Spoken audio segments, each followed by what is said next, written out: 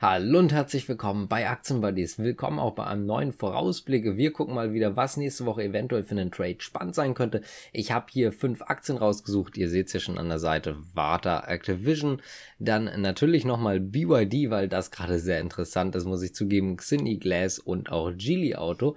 Wir fangen jetzt aber direkt einmal an mit Warta. Ich möchte einmal noch mal ganz kurz davor sagen, weil das auch noch mal geschrieben wurde, es wird auch nicht jeder Trade hier aufgehen. Es wird auch eventuell gar nicht jeder Trade erreicht. Letztendlich ist es so, dass wir in die nächste Woche gucken, was könnte hier passieren, was könnte spannend aussehen. Und es kann halt auch einfach schlichtweg sein, dass dieses Szenario, was ich gerne sehen würde, gar nicht zustande kommt. Dementsprechend kann es halt auch einfach durchaus sein, dass wir da gar nicht hinkommen. Heißt also, das ist jetzt kein Pflichtkauf und vor allen Dingen kein Kauf, jetzt einfach in diesem Moment, sondern ich stelle dort immer ein Szenario. Manchmal ist es sogar jetzt in diesem Moment, aber das ist eine andere Sache. Deswegen kommen wir jetzt mal äh, direkt dazu. Keine Anlageberatung. Auch nochmal ganz wichtig. Das sind nur Trades, die ich eventuell umsetzen würde. Fangen wir jetzt mit Warte an und ihr könnt es hier schon sehen, wir hatten hier einen Widerstand. Wir haben hier die Unterseite im Prinzip äh, der Gap. Außerdem hatten wir hier schon einmal einen ganz, ganz kleinen Fehlausbruch und wir sind letztendlich jetzt hier wieder direkt auf dem Level. Und genau das könnte auch eine Spekulation am Montag werden. Man könnte jetzt direkt am Montagmorgen einsteigen mit der Spekulation natürlich, äh, dass wir hier weiter steigen und zwar in Richtung 154 Euro und 30 Cent. Das wäre jetzt also die Spekulation. Stop-Loss könnte man dann im Prinzip hier direkt auch sehr, sehr close setzen. Heißt also, wir setzen ihn hier direkt unter der Unterstützung bei 145 Euro und 40. Das würde dann als Beispiel, wenn man das jetzt genau so macht, ergeben, dass wir vielleicht ein Minus von knapp 1% haben, ein Plus im Optimalfall von 5,25%. Könnte man zum Beispiel sehr, sehr gut mit einem 10er Hebel ausführen. Im Mid-Spread und so weiter ist man dann vielleicht bei 15% Verlust im schlimmsten Fall und im besten Fall dann bei über 50% Gewinn. Das wäre jetzt aber natürlich erstmal nur der erste Widerstand. Sollten wir auch über diesen Widerstand steigen, dann wäre es durchaus realistisch, dass wir hier in Richtung des Alltime Highs gehen, also das Alltime High langsam angreifen und zwar erstmal zum nächsten Widerstand in Richtung 167,70 Euro. Heißt also, wenn wir jetzt hier diesen Ausbruch haben, und den haben wir ja gerade. Wenn das jetzt aber kein Fehlausbruch ist, dann sieht das Ganze auf jeden Fall extrem interessant aus und sieht auch so aus, als könnte man dann zumindest in Richtung dieser 154 gehen und in diesem Weg könnte man dann doch auch durchaus das Alltime High angreifen. Kommen wir jetzt direkt äh, zum nächsten, und zwar Activision Blizzard. Die könnten sich hier unten in diesem Bereich jetzt durchaus erstmal erholen. Es sieht jetzt gerade so aus, als würden man hier einen Boden finden. Ungefähr jetzt also bei etwas über 83 US-Dollar 50. Was jetzt hier ganz wichtig ist, entweder man wartet jetzt nochmal ab oder man kauft jetzt direkt ein, aber dann sollte man den Stop-Loss auch wirklich sehr, sehr streng, ich sag mal, anziehen. Letztendlich wäre jetzt hier auf jeden Fall die Spekulation, erstmal in Richtung des nächsten Widerstandes zu laufen, in Richtung 87 US-Dollar 65, beziehungsweise danach erstmal in Richtung 200-Tage-Linie. Die kommt hier jetzt natürlich runter. Die läuft also jetzt gerade in unsere Richtung, kommt dem Kurs näher und jetzt gerade wäre die ungefähr bei 89 US-Dollar 40. Das heißt also, wir würden dann in Richtung mindestens 87, 74 spekulieren, beziehungsweise in Richtung 89 US-Dollar 40 ungefähr. Dazu Voraussetzung einfach, wenn wir Montag zum Beispiel starten, auch in den Tag, beziehungsweise wenn wir Montag sehen, wir kriegen hier so einen kleinen Rebound mal hin. Heißt also, ich würde fast sogar eher warten auf Dienstag, Montag, dann Börsenschluss mal gucken. Wenn wir hier dann tatsächlich stabilisiert sind, vielleicht in Richtung 84 US-Dollar, dann kann man hier durchaus einkaufen, wenn wir dann am Montag direkt Tagesschlusskurs irgendwo hier weiter unten schließen in Richtung 82 US-Dollar, 83 US-Dollar, dann ist der Trade auch fürs erste gelaufen. Dann kann man natürlich noch immer auf einen Rebound dann, ich sag mal, spekulieren und nochmal warten, aber dann auf jeden Fall in Richtung 84 US-Dollar. Was wir hier jetzt natürlich auch sehen können, zeichne ich jetzt auch nochmal ein, ist dann halt dementsprechend der Abwärtstrend, den wir jetzt hier seit relativ kurzer Zeit hatten, oder was ist relativ kurz, 14. Juni, seit anderthalb Monaten ungefähr. Und genau der ist hier auch im Übrigen am Pfeil, den wir eh gerade eingezeichnet haben, also ungefähr da, wo die 200-Tage-Linie kommt. Das heißt, hier haben wir also einen relativ starken Widerstand. Da ist dann die Frage, ob man dann da tatsächlich drüber steigt.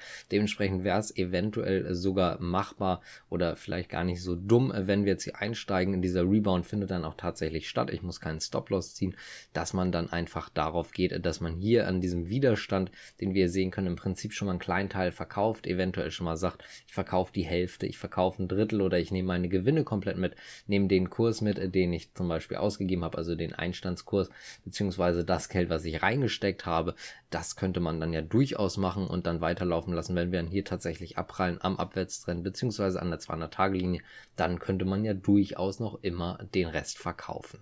Ähm, Stop-Loss, habe ich gerade schon gesagt, würde ich auf jeden Fall relativ close setzen.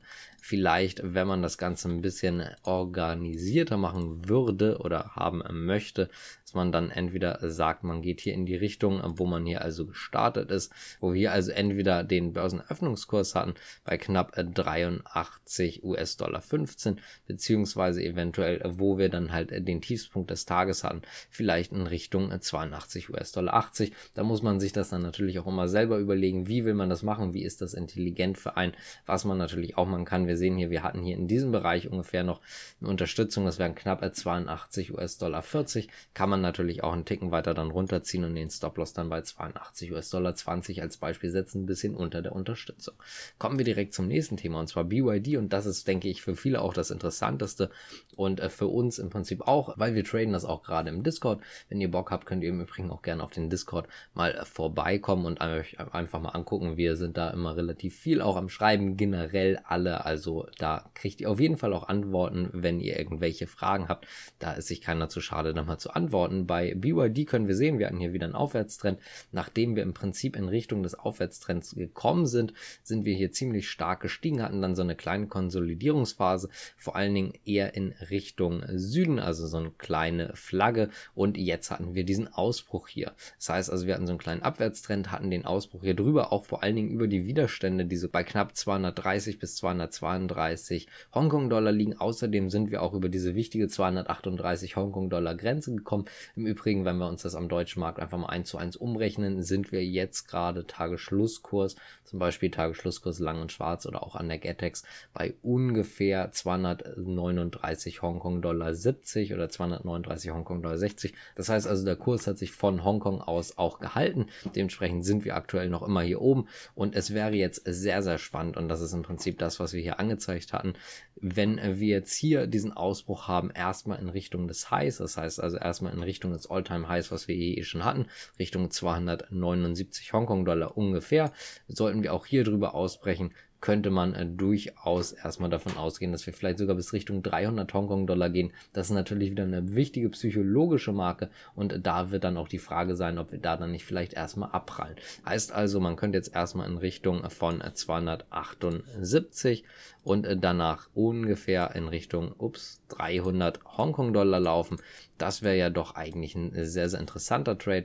Stop-Loss könnte man als Beispiel jetzt direkt wieder innerhalb dieses kleinen Trends, den wir hier hatten, setzen.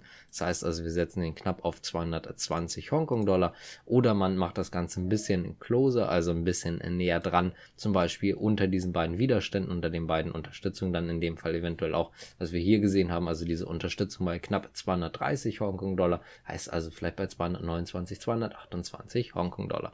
So, das war es jetzt auch zu BYD. Kommen wir direkt zum nächsten und zwar Xindi Glass. Die sind ja relativ äh, gut gestiegen tatsächlich jetzt wieder. Wir waren ja sehr, sehr lange in diesem Aufwärtstrend, der auch sehr, sehr schön verlaufen ist. Wir können das hier sehr, sehr gut sehen, ja, sehr, sehr tatsächlich. Also wir sehen es jetzt hier relativ gut. Seit Mai 2020 sind wir hier in diesem Trendkanal, sind hier im Prinzip einfach nach unten ausgebrochen. Schlichtweg, wo die anderen Aktien auch sehr, sehr einen Dämpfer bekommen haben, also wo es nicht wirklich gut gelaufen ist. Ähm, können wir sehen, sind wir nach unten ausgebrochen sind in Richtung 200-Tage-Linie und haben uns wieder ein bisschen erholt. Ich muss sagen, ich hatte sehr, sehr viel Glück, weil ich habe ausgerechnet am 27. Juli eingekauft, wo ich noch geschätzt hatte, dass es jetzt ein Rebound kommt. Im Übrigen ist jetzt auch ein Rebound gekommen und wir sehen jetzt hier, wir sind an der 50-Tage-Linie wieder abgeprallt und wieder über der Unterstützung bei knapp 28 Hongkong-Dollar 80. Und jetzt wäre auf jeden Fall das nächste Ziel erstmal äh, wieder in Richtung des nächsten Widerstandes. Der würde bei knapp 31 Hongkong Dollar 30 liegen. Das sind übrigens ungefähr 7%. Den Stop-Loss könnte man dann hier durchaus unter der 50-Tage-Linie setzen. Das ist schon relativ weit weg, muss ich sagen. Deswegen würde ich mir überlegen, ob ich da nicht vielleicht sogar eher in diese Richtung hier gehe, dass wir direkt unter der Unterstützung wieder verkaufen. Das heißt also unter 28 Hongkong Dollar 80, vielleicht in Richtung 28 Hongkong Dollar 60. Sieht für mich gerade zumindest attraktiver aus, als jetzt wirklich in Richtung 50 Tage Linie. Dann wären wir bei 28 Hongkong Dollar 15. Da hätten wir dann aber auch vom Punkt aus, selbst wenn sich jetzt nichts verändert, über 3% Verlust. Wie ich gerade schon gesagt hatte, knappe 7% Gewinn. Das wäre jetzt nicht das beste Chance-Risiko-Verhältnis, könnte man aber natürlich trotzdem machen. Eventuell auch hier mit dem Hebel ausführen, genauso wie bei BYD natürlich. Vielleicht, wenn man sich das äh, traut, dann in diesem Bereich auch ein 10er-Hebel, würde man halt eventuell 30% Verlust machen, aber man könnte auch durchaus 70% Gewinn machen. Und äh, damit kommt es jetzt auch zur letzten Aktie und zwar Geely Motor bzw. Geely Auto. Hier ist eigentlich jetzt gerade der Kurs gar nicht ganz so interessant. Und der Punkt, den ich oder auf den ich spekulieren würde, wäre dass wir nochmal einen kleinen Rücksetzer haben und zwar in Richtung 24 Hongkong Dollar 55 und davon dann tatsächlich den Rebound in Richtung 26 Hongkong Dollar 60 beziehungsweise 28 Hongkong Dollar. Ich mache das Ganze mal ganz kurz gelb. Ich habe mir diese Aktie aber nichtsdestotrotz ausgesucht, weil man auch jetzt noch einkaufen könnte. Wir sehen jetzt hier, wir hatten jetzt zwei starke Tage oder relativ starke Tage ganz guten Anstieg und ich denke halt, es kann auf jeden Fall in Richtung 28 Hongkong Dollar 10 gehen. Im Übrigen, der MACD sieht hier sehr, sehr attraktiv aus. Ich habe es leider vergessen, gerade bei BYD zu zeigen. Wir überholen hier gerade die mit der blauen, die orangene Linie. Das ist letztendlich ein Kaufsignal, um das jetzt mal ganz, ganz einfach auszudrücken. Bei BYD sieht das im Übrigen genauso aus, habe ich gerade vergessen zu sagen. Also hier also ein, ein sehr, sehr schönes Kaufsignal, nochmal eine Bestätigung eher gesagt vom MACD. Ähm, ich blende das wieder aus, damit wir ein bisschen mehr Platz haben. Ist letztendlich auch nicht so wichtig. Jetzt gerade auf jeden Fall sieht es hier gerade nach einem guten Kauf aus. Und man könnte sich jetzt hier durchaus überlegen, wir können das hier sehen, wir hatten hier in diesem Bereich ungefähr einen Widerstand, wo wir öfters nicht drüber gekommen sind. Und genau das wäre dann auch die Überlegung, wenn ich jetzt auf den MACD gehe und damit traden möchte, beziehungsweise traden möchte und sage, es wird jetzt auch weiter steigen. Wir sind hier gerade in diesem Trend.